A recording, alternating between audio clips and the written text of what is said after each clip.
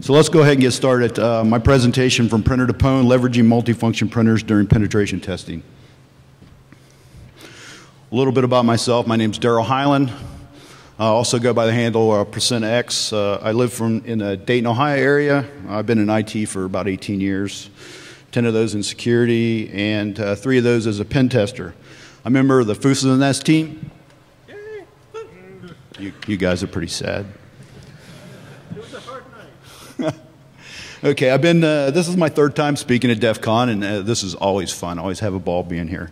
So let's go ahead and get started. I do have a guy showing up with a 50 foot, because I don't know if anyone's seen me speak before, but tether me on a five foot rope can be dangerous. Uh, so uh, the agenda for today's presentation is uh, multifunction printer features. We're going to quickly go over some of the features and functions you typically see in multifunction printers that we want to uh, attack or steal information from. Second, we have a, a single one slide on multifunction printer security. Uh, from there, we're going to go to attacking multifunction printer devices and leveraging those attacks during penetration testing. And at the end, we'll go ahead and conclude with uh, development of an automated harvesting tool.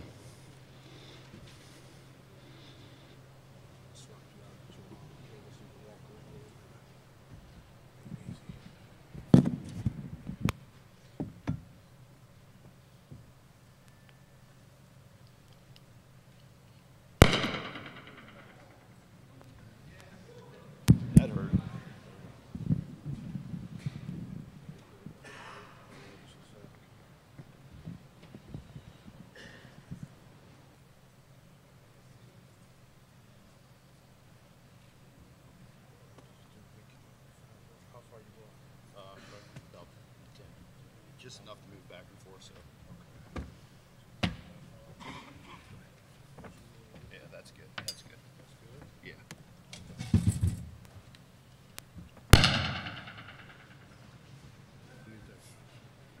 Okay, I guess we can get started again. So let's go ahead and move into this. Uh, let's start off by talking about multifunction printer features. Uh, don't like that happening. There we go. Okay. Um, I don't know how many people have actually logged onto the web interface on a multifunction printer, uh, but that's generally what we're going to be talking about today. And there's a wealth of features and functions that can be pulled, information can be pulled out of that. Uh, an example here is scan the file functionality, the ability to walk up to that multifunction printer and scan data uh, or scan something and actually have it store it on a uh, Microsoft file server or on a FTP server also scan to email, the ability to scan stuff and have it go out in email. So these have to be able to integrate into those services, SMTP server, uh, SMB authentication onto Windows devices, such, such stuff like that. Also, one big one is LDAP authentication. To be able to go up to that device, authenticate yourself to that printer, and then have that printer give you specific features or functions associated directly with you. Uh, also, system logs. A lot of us overlook uh, what kind of information exists in system logs on these devices, and it could be a wealth of information. Uh, an example would be uh, color printers, a lot of times, have chargeback functions, so they have to be able to log who's actually using the printer. So, a lot of times, it'll log usernames that can be stripped off these printers and used. And of course, uh, remote functionality uh, with the new cloud concepts coming out there, we're seeing more and more stuff roll into this area. So that's an interesting one. And of course, uh, backup and cloning, the ability to back up the entire configuration on the device. So if an attacker can pull the backup and cloning information and then strip it apart offline, he can pull all that information in one fell swoop. So the next thing I want to get into is multifunction printer security. So we have one slide, four steps to security failure on a multifunction device. Pretty straightforward. What do we do? We roll these things in, we power them up. We integrate these into the business system so they connect to our SMTP, they connect to our Microsoft Active Directory environment, they connect to FTP servers. And then the third thing, what do we do? We set no passwords on these, or we leave them at the factory default password settings. So I have a question for you. So we can qualify this, so quantify this. How many people in here Their company requires you to set a complex password on all multi, multifunction printers that are deployed within your organization. So raise your hands. So everyone else, look around the room.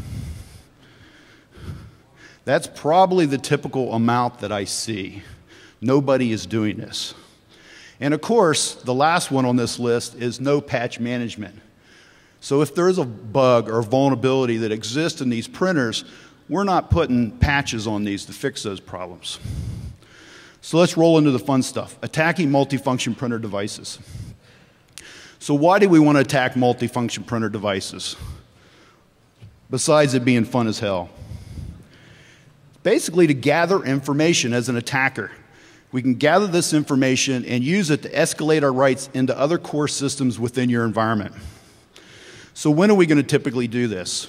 An example would be uh, if you expose it to the internet. And I know everyone's thinking, why would anyone expose a printer to the internet? Well, go out to Google when you get a chance and, and type in there and try to pull out some printer information, and you'll find there's literally thousands, hundreds, and thousands of printers out on the internet that are exposed out there. And probably half of them have no password set or default factory passwords. The other example is once somebody gains a foothold into your environment, whether it's an internal user, a disgruntled employee, or an external attacker who has gained access to your environment. Earlier this year, I was on uh, Paul.com, uh, episode 237. We were talking about this. And Paul made a real interesting point about this, and that is the fact that this vector falls underneath the radar screen. No one's monitoring it, paying attention to it, no one's logging or doing any auditing against anyone querying information from your printer. It's totally ignored. So if an attacker gets a foothold, he can query your printers well below the radar screen through the web interface and potentially pull information that he could use to log on to your Active Directory environment without anyone ever knowing. So it's a, a real concern.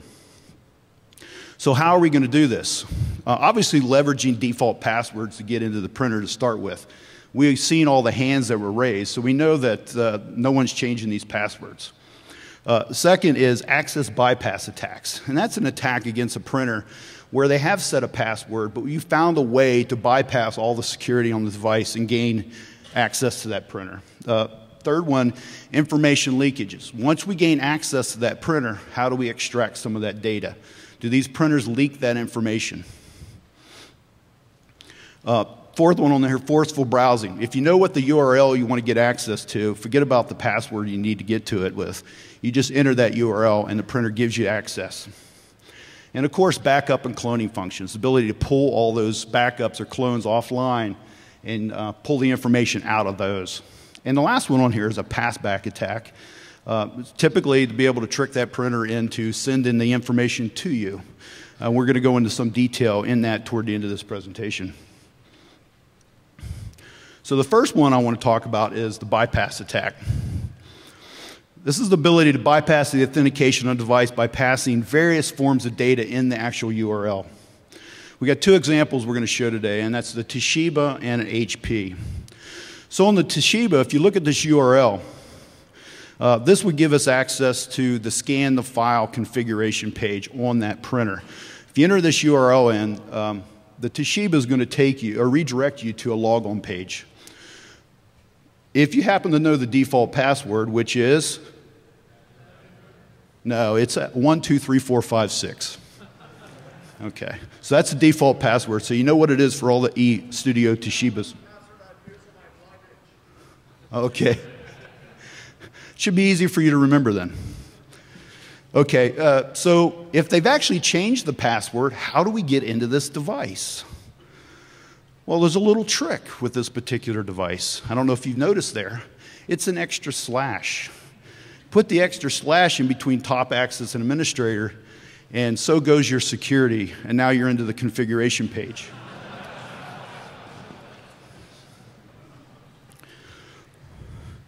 So the second example, and this is um, an HP Office jet, or Office uh, jet device. Um, a lot of you guys probably have these sitting in your home right now.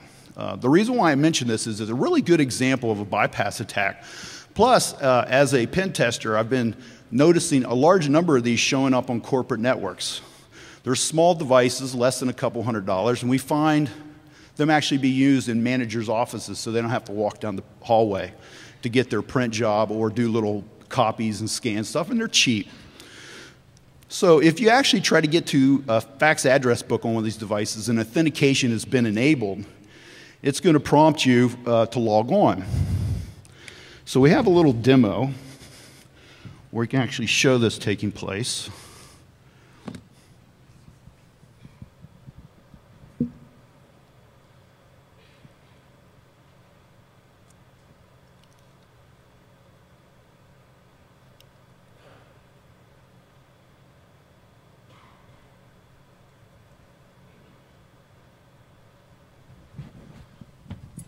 So if we go up to the setting part of this and we click on setting and authentication is required, it's actually going to prompt you for a username and password. And this is my printer, and I actually forgot the password like years ago.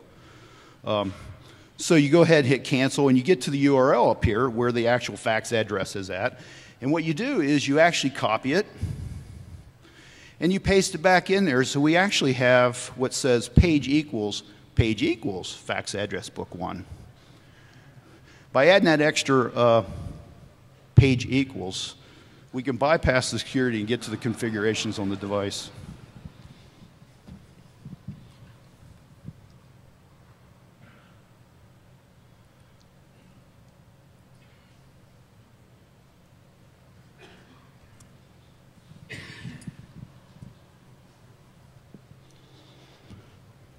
So the next area we want to delve into is information leakage. Now that we've gained access to a device because of default passwords or for by, by bypassing the actual security on the device, how can we pull information from this device? So the first one we're going to look at is information leakage on an HP um, device. This is a gig I did uh, here, it's probably about a year and a half ago. Turned out they had actually exposed this printer to the internet. Uh, and besides uh, stealing all their faxes off the device, uh, as you notice that uh, the email settings on this points to one of the employees that's taking care of the device's Gmail account.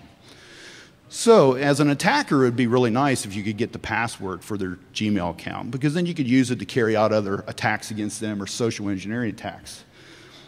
So, when you look down here and you look at the password you see all those black dots, a lot of us go, oh, our password's protected. Well, that's not always the case, especially when we're dealing with embedded devices like multifunction printers. So the big thing here is if you have Firefox, you can right click on that field and go show properties. If we expand that up, we see that it is basically a plain text password in there. So the next device we move on to is the Toshiba. So if we know the password, or in the case of Toshiba, bypass the actual password, on the device. Uh, and we want to go to the SMB settings on this device, the Samba settings, and take a close look at what we have up there. I mean, really close look.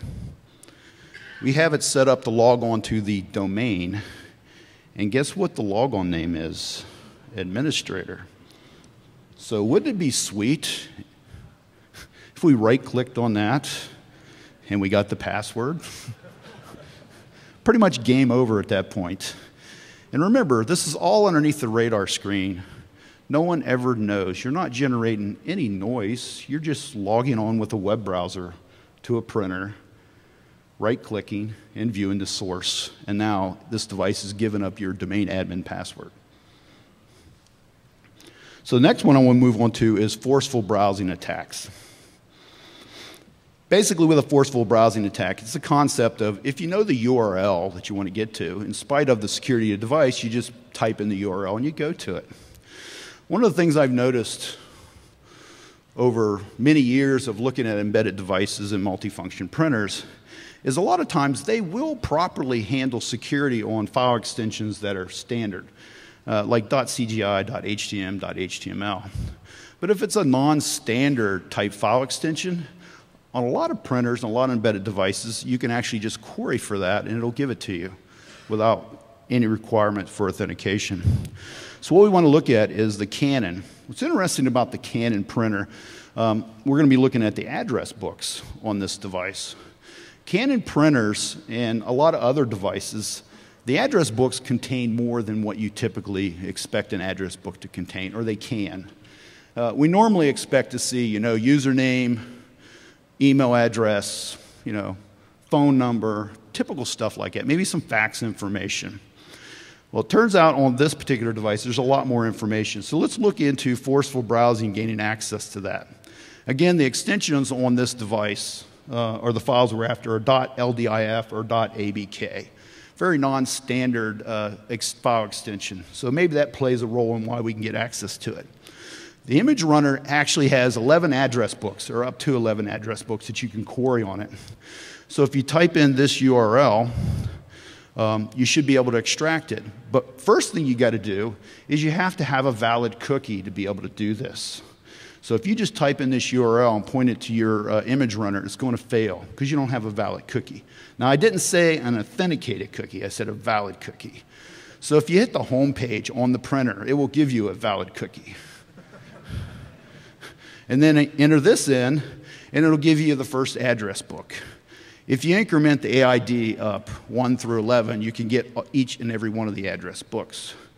The data that typically comes off the address books is, is in plain text. Also, a quick note.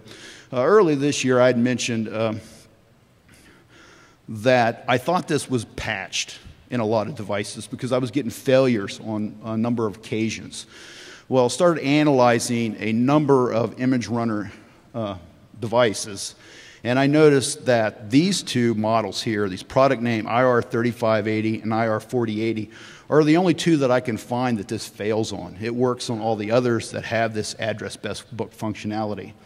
Uh, not that there may not be a way to get around on these devices, but this method fails on them. But it doesn't fail on all the other ones. So let's look at this data.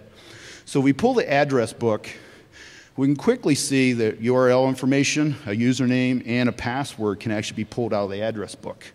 So what are we looking at? This device is actually configured so you can walk up to the printer and do a scan job after you authenticate yourself as D. Smith. And what it'll do is it'll do the scan job and it'll save it on your workstation.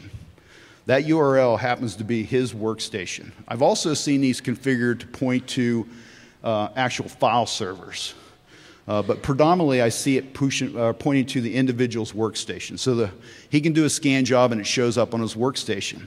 So now I have the password to his workstation so I can log on. Well, if they screwed that up and they actually created the username of Canon as an administrator on his local workstation, the next step is I'm admin on his workstation, which we've done before. At that point, I can extract the hashes associated with all the users on the device particularly the administrator account, and use that to break in on every other machine on the network that actually has the same administrator password. So the next thing we want to delve into is backups and cloning. Backups, and the purpose of backups and cloning is ability, one, to make a backup of your configuration of your device, uh, which is very important if you need to fix it or rebuild it or whatever the case may be. Um, Xerox really does what they call cloning.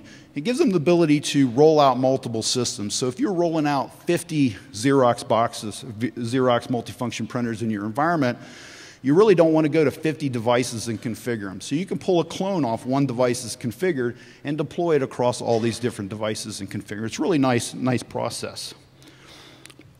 So the whole idea of this is if this contains information that we could use to attack you, then of course we can log on, pull this, and voila, we have usernames and passwords. So let's look at the first one. This is a Lexmark. Um, the settings, import, export, export setting file functionality, and this export file is all in plain text. So we easily go to uh, this page, uh, import, export. We click export setting file, and we're able to extract this. And as you see, uh, plain text passwords are actually stored in this file. The interesting thing about this device, uh, this particular device that I tested, was that they've done a really good job of not having information leakages. So when you go to the configuration pages, you can't extract the passwords out of the source code. So they've made an attempt to actually secure the device from that level, uh, but yet have made it possible for you to actually pull all of the configurations, including usernames and passwords, off the device in a backup file. The next one we want to delve into is the Xerox. Uh, fairly simple. Um, if you go to log on to a Xerox Workcentra, and what's the password for a Xerox Workcentra? I don't know if I heard it, but it's 1111. That seems to be the normal for the Workcentras. Username is admin. So we get to this, we go to the Xerox Workcenter, general setup under properties, go to cloning, and we have all these settings that you can select to extract the cloning data.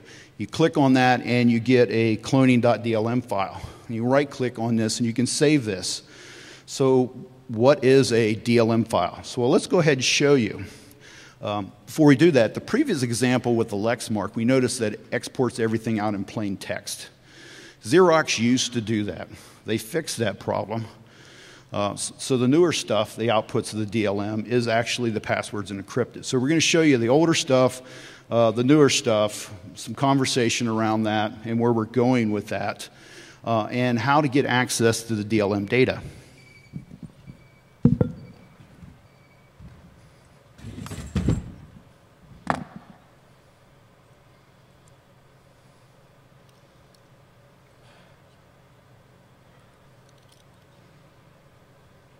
Everyone see that good? Everyone see that?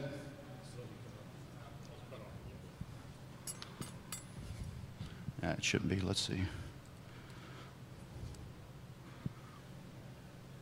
I can't control that.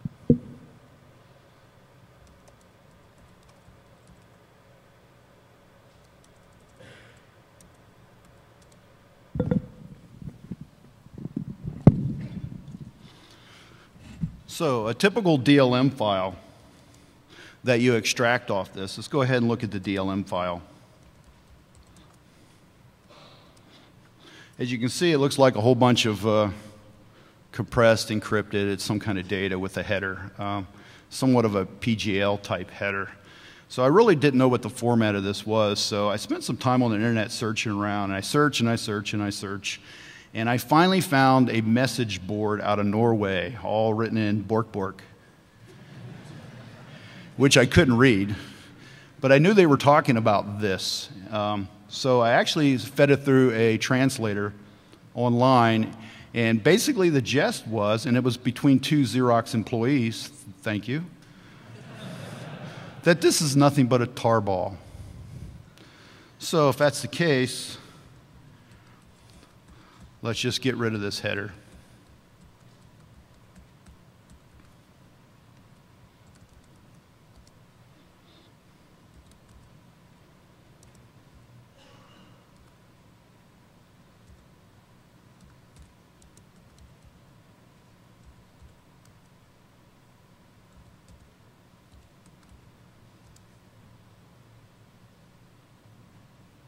Maybe I need to. Oh, need how to spell DLM. There we go. Okay, they were able to extract it. So it was a tarball. The item of interest in this particular extract is under data.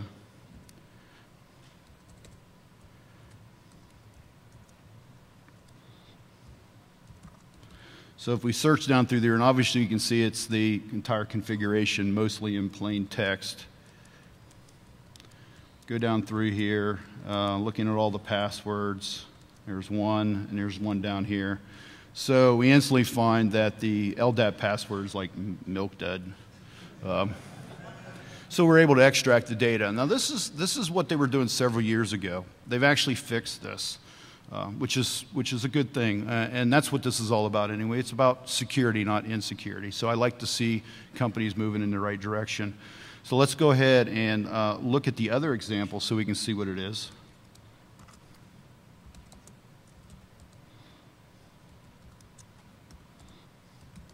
We've already extracted that, so.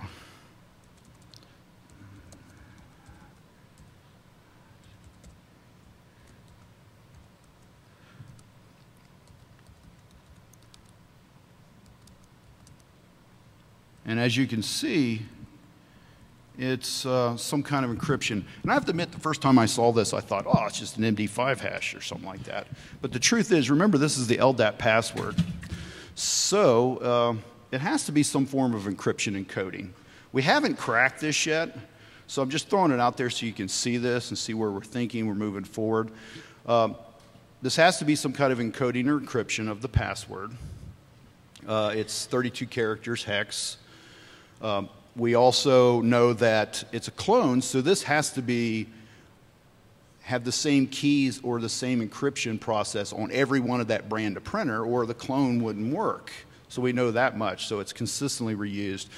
Research I've done so far up to this point um, leads me to believe that the cloning process isn't the part that's encrypting this, that more than likely the encryption mechanism of this is actually being maintained within the Postgres database that these devices use, um, using some type of Postgres uh, encryption. And that's where it's being handled. So that's where we're at on that right now. So as we move forward, anyone interested in helping me with this down the road, you know, shoot me an email. Definitely open to getting some assistance.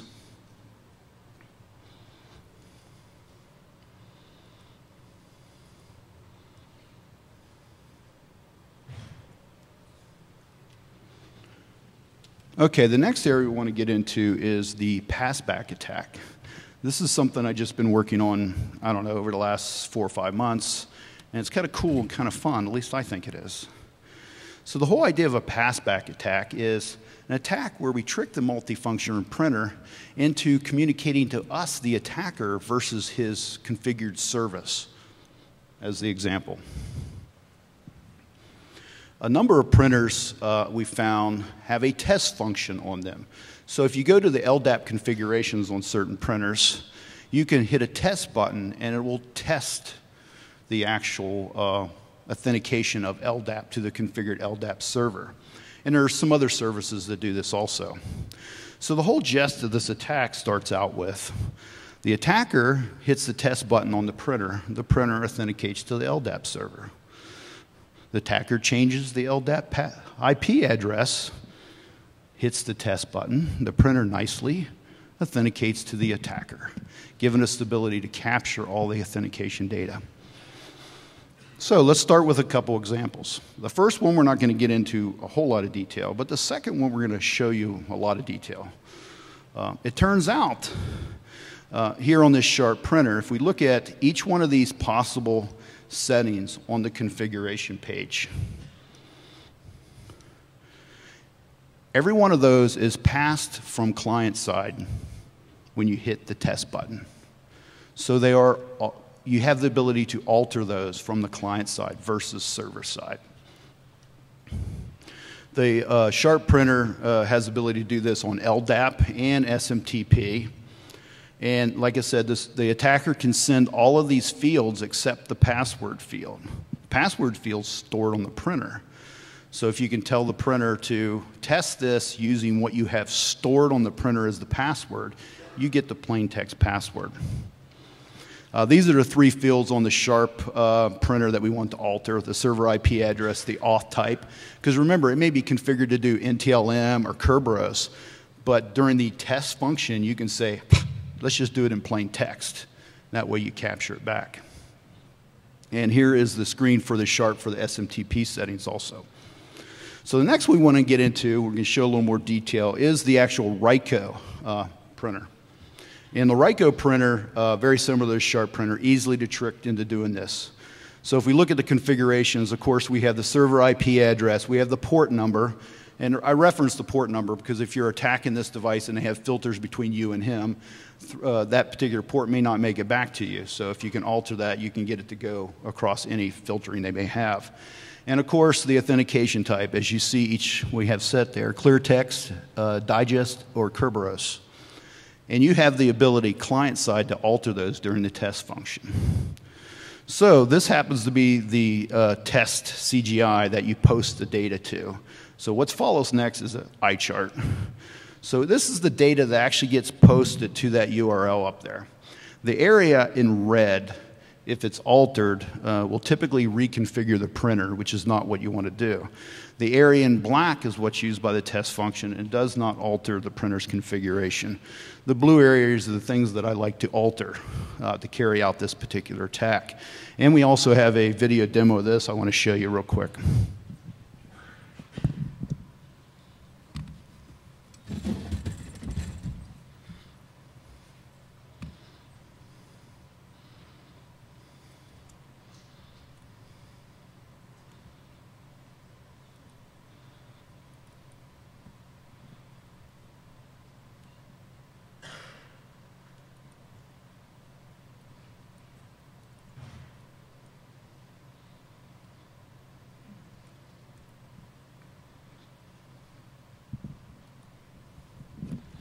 So it's really, really simple in this. You go up the right-hand corner on the Ryco page and you click Log On. This password's really easy to remember. It's blank. Enter the username of, enter the username admin, um, and now you log on to the device. Once you're logged onto the Ryco printer, uh, it gives you a lot more features, and you can go to the configuration page.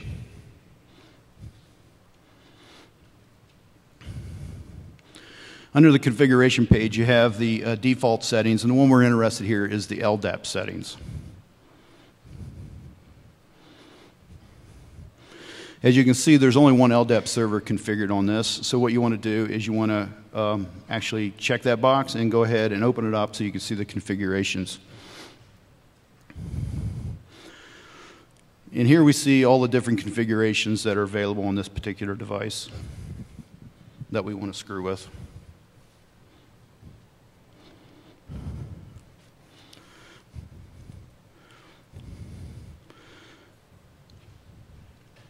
So to carry out this attack, we want to list, set up a netcat listening port 1389. So we fire that up.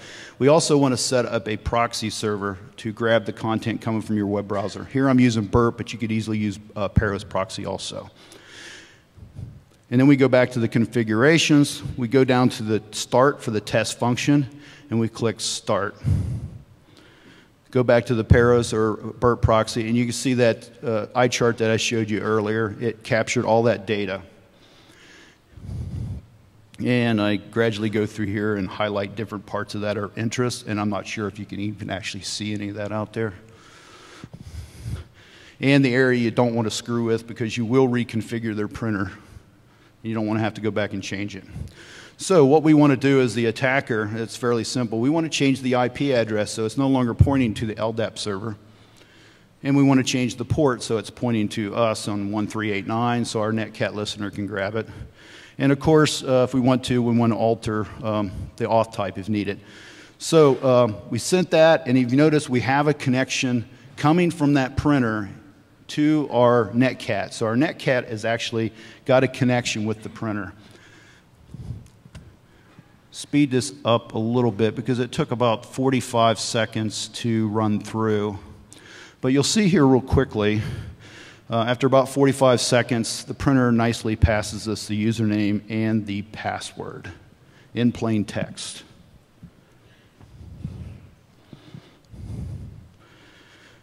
So if you have access to the Sharp or the Ryco printers and they are configured and you want to gather information off of it, and these devices don't have a whole lot of leakage problems other than this one here, you can carry out this passback attack by altering, capturing the data uh, that you send to the test function, telling the printer to, instead of communicating the test function to its actual LDAP server, I want you to communicate back to me, the attacker, and I want you to authenticate to me in plain text, giving me the username and password.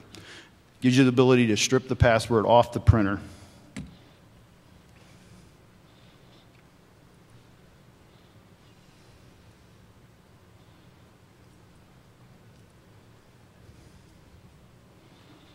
Okay, the next thing we want to move into is actual the tool.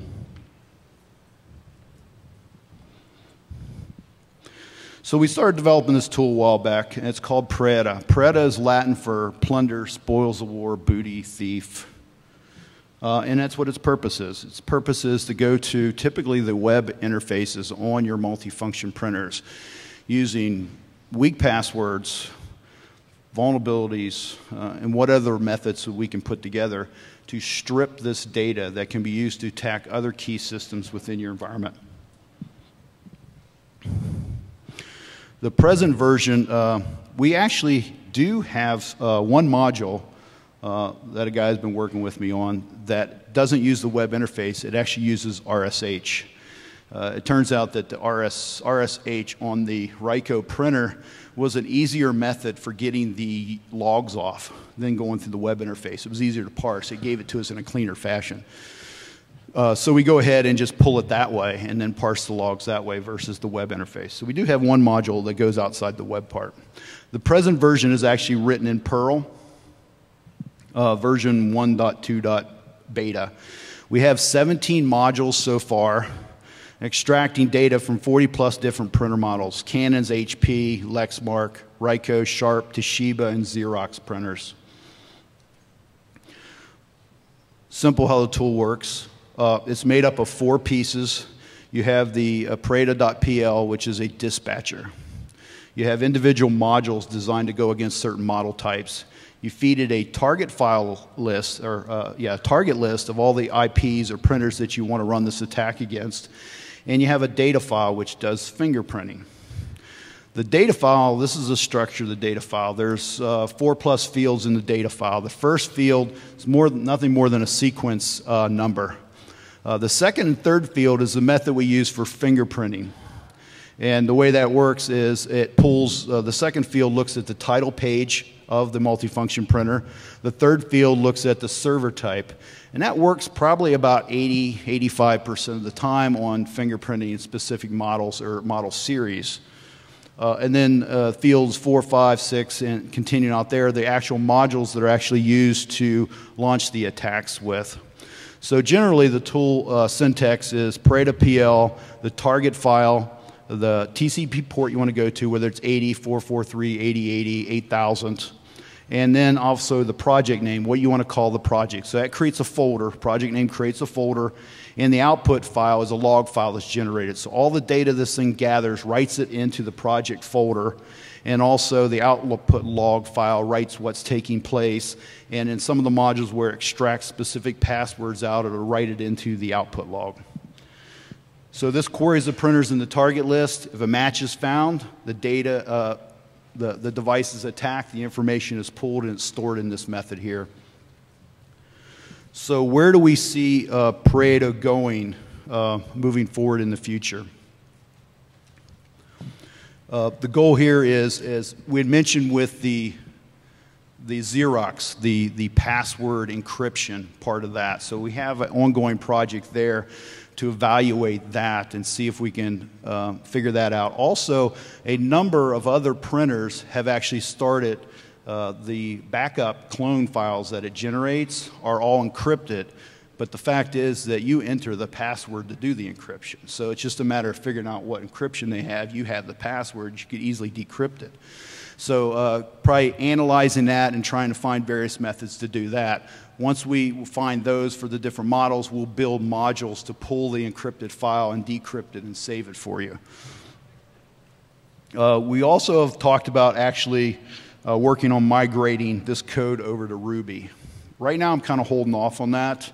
Uh, and we're going to stick with working in Perl. And the main thing is, I want to see this project go to critical mass. Right now, we have 17 modules, 40 plus different printer device models we go to. But the thing is, is I want the tool to be a, a valid, usable tool for uh, pen testers. So we're looking for people to jump in, add value to this. Let's work on actually growing this. Uh, and once it reaches critical mass, where it becomes a real valid tool used by enough people, then we'll go ahead and reanalyze it. Is Perl the best option? Is Ruby a better option? Could it be incorporated into other tools? Um, or could it be you know, written in Python? Uh, so right now we're going to stick with the Perl and, and, move forward from there. Also, uh, we've been looking at developing other modules besides just printers, uh, multifunction printer devices. There's all kinds of embedded devices sitting on our network, everything from UPSs, SAN systems, cameras, Every one of these devices, we as pen testers have actually found usable data that can be extracted from these devices. So the goal was to expand this project also to actually include uh, all of those type of devices also.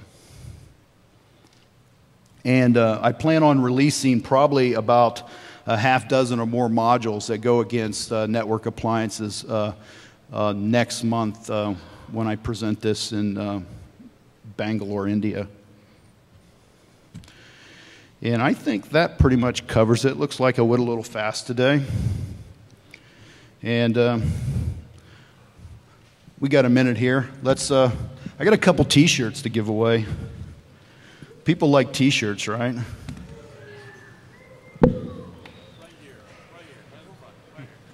Well, you have to. So we have the FUFASnet, we have the FUFASnet t-shirts, and the thing is, is you have to answer a question. So real quick, it's fairly easy. What's the default password? You have to raise your hand because obviously everyone's going to. What's the default password for most Work Workcentra printers?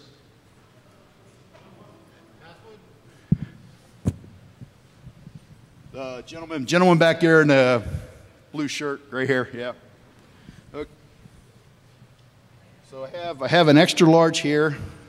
You can take one of these, and I think the other one's a 2X. There's a 2X. Also, uh, one, one more. Okay, uh, what's the default password for a Toshiba eStudio printer?